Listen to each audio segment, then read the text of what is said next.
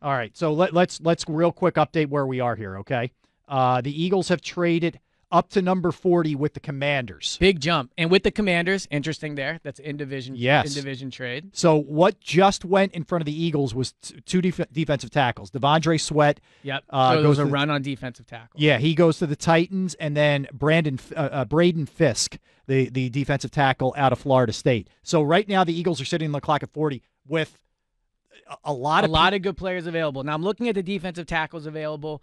Mason Smith out of LSU, Chris Jenkins out of Michigan. Chris Jenkins more of a run stopping defensive tackle. Mason Smith, ultra athletic guy. I think I believe a little still raw uh, in, in his game.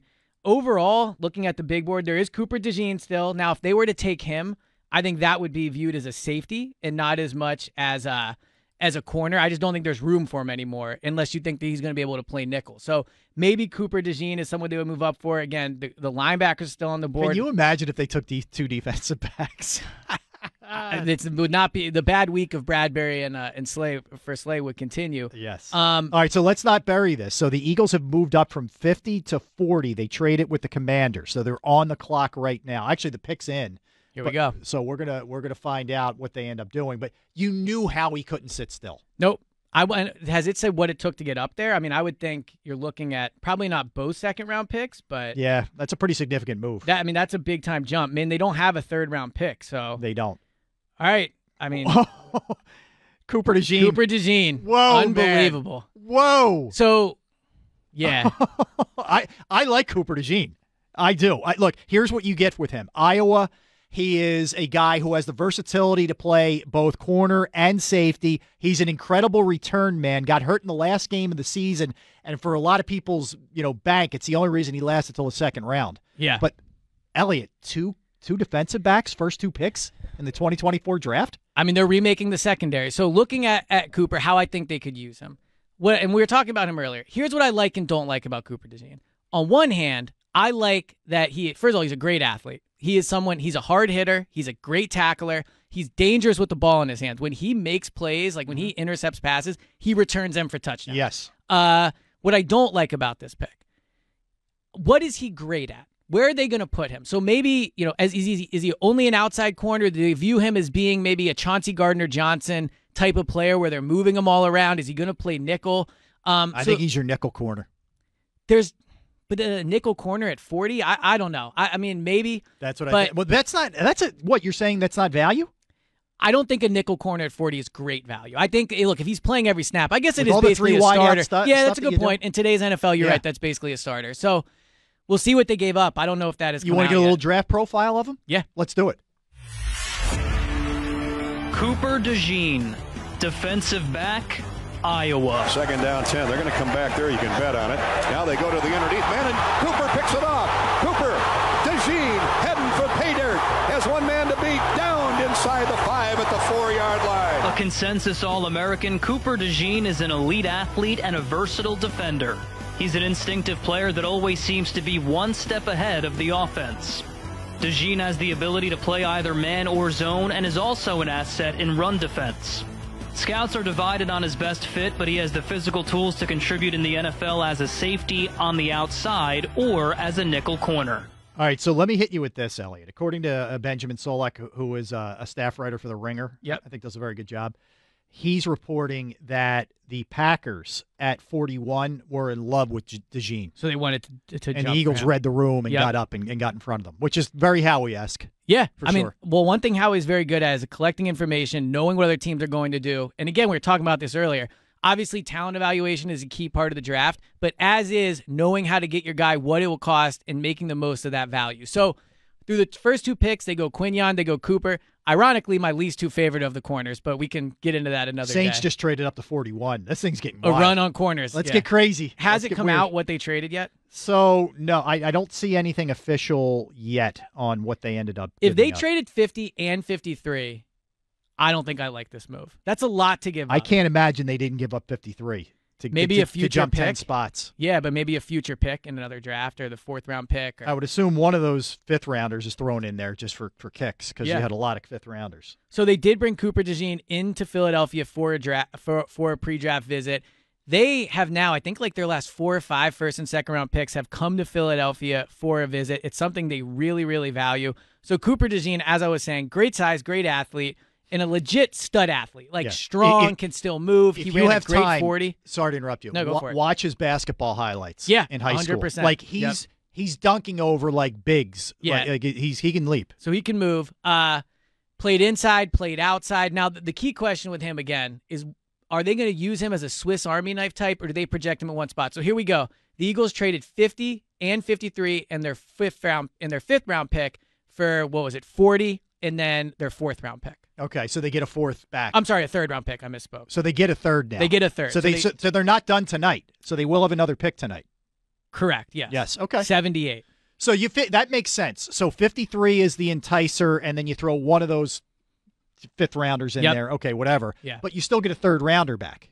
Yes. So Okay. you move up 10 spots. I like I think that's good value. Here comes Brandon Graham announcing the pick. Uh, look- BG's looking good. Yeah, got the green on. that leather? What is that? It looks like it's sparkling. Something shiny. Like, so you, you could pull that off. I could. Oh, of course. I mean, it's not that much from what I different from what I wore on my wedding day. Of course. Uh, yeah, so that's uh, that's interesting. Yeah, 50 so they go they gave up 50 53 161, okay? To get to 40. But they also get 78 back. Yeah, I, I think that's a fine trade. Yeah. I don't think that's an overpay at all. And while my opinion on Cooper DeJean is what it is, I will always respect Howie going up for his guy. If you think in a draft where there's not a lot of special players, Cooper DeJean, who by the way, going into the draft, p- teams at least seemed extremely intrigued by him. He fell out of the first round, so obviously that was a bit of smoke there. But this cornerback position now is going to be the one to watch in training camp. As of now, on the roster, Darius Slay, James Bradberry, Avonte Maddox, Quinyon Mitchell, Cooper DeJean, Kelly, uh, Kelee Ringo, Eli Ricks, Tyler Hall, Isaiah Rogers. That's nine right there. And those are just corners. We're not even, I mean, maybe Cooper ends up being a safety, Yeah. but you're probably only keeping five. I Well, mean, there's half those guys. Uh, some- Mekhi Garner. Some people are going bye-bye.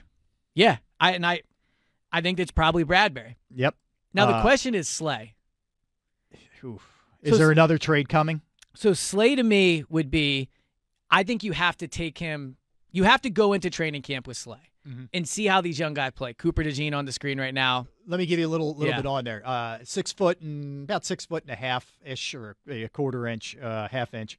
212 pounds, runs a 4.42 40, 38 and a half vertical, which is good. Uh, very impressive numbers, actually, both of those. Posted 12 interceptions and 20 Yep. pass breakups in two years as a starter at Iowa. That's a lot Yeah. in two years. Yep. So, and again, to him being dangerous with the ball in his hands, he took snaps on offense last year. Yeah. Like they tried to get the ball in his hand. You could see it here: punt returner, Big kick time returner. returner, yeah. You know, hopefully he advances to the stage where you're not having him do that in his career. Yeah. But he right away could be could be a real impact uh, player for them. I like this pick. Yeah. The more I react to it, I I think this was a smart pick at 40. I'm happy with both picks, honestly, man. It's it's out of the box. It continues to be out of the box. We're we're as Eliot and I are watching the reaction. He's you know they're doing the usual mob by the family thing Yeah. and all that kind of stuff. And we saw the Eagles war room, how excited they are. But NFL comparison: Malcolm Jenkins, according to NFL Network, okay, and and and I can see it now. Malcolm Malcolm again, played corner in Malcolm college. started his career, I believe, Yeah. with the Saints on the outside. he did. And that's what that's the positive of Cooper DeJean. Again, when there was talks of trading up to take him at 12, that's different. Mm-hmm. But in the second round, he is somebody that Vic Fangio can get creative with. One thing, a lot of things they didn't have on the defense, but one thing they definitely didn't have last year on the defense was guys that Sean Desai could get creative with. They've now added Cooper DeJean, who can do a bunch of different things, Chauncey Gardner Johnson, who can do a bunch of different things. Pre-snap, offenses are going to have to have more to deal with in figuring out okay cj gj and cooper DeJean are on the field. What are they doing? Are they lining up uh, as as the corner there? Are they being an in the box linebacker type of role? Are they playing a single high safety? Are they going to back up and both be the safeties if Avonte Maddox is on the field? Avonte Maddox is someone that's moved all around so what you're seeing with what they're doing I think Quinyon's just going to play the outside but what they're doing is adding a bunch of different pieces that Vic Fangio can get creative with All right, let me give you the last two years where he really took over as a starter. Okay, uh, 2022, second team All Big Ten, tied for the FBS lead with three interceptions returned for touchdowns. That's just in 22. Okay, um, he had a good pro, he had a good uh, bowl game for them. Started all 13 games, 75 tackles, three tackles for losses, five picks. Go to 23, which was last year. First team Associated Press All American. uh, Big Ten Defensive Back of the Year, Return Specialist of the Year, First Team All Big Ten Conference, finalist for the Jim Thorpe Award, uh, Bronco Nagurski Award for the top defender. This guy's got some pretty good Yeah. resume here. Started 10 games. He got hurt at the very end, missed the end of the year with a broken fibula. Uh, Lance Zierlein's breakdown here on NFL.com. Highly competitive defensive back, plus ball skills, noteworthy special teams value, is a big and bun- big and bundled for a corner, muscular arms, tight hips, has fantastic interception production, but his movements uh, tend to be linear, more linear than fluid. Doesn't have the easy change of direction in man coverage. His best football is played with his eyes forward, using his instincts to challenge quarterbacks and his big downhill burst to smack whatever needs smacking. his words. Uh, he would seem to be a no brainer as a punt returner and gunner in year one. Uh, DeJean should be a big athletic tester, which will help get the hype train going, but finding the proper scheme will be important in unlocking his best football as a zone corner or interchangeable safety. They like that part of it. Strengths, he can play either. He's explosive, instinctive, tracks passes well, ball skills as a receiver, charges hard, slams into pass catchers, can provide immediate help. Weaknesses tight hips, uh, struggles to open hips and a lot of hip uh, to find sudden acceleration against pass release, fails to turn and find the football when traveling in deep routes. Played a series of bad offenses which challenged him. Uh oh. Him and Quinyon can talk about that. Below average length, which allows some slippage as a wrap up tackler. Sources tell us, quote, he's quiet and humble. He will always he, he was always at his best he was always the best in high school and has that baked in confidence that you can't coach, according to an AFC scout. So this guy does not play scared. So, and I think off last year's secondary, that that's a step in the right direction. Yes. Two things: a positive. Uh, I'll start with a positive. Yeah.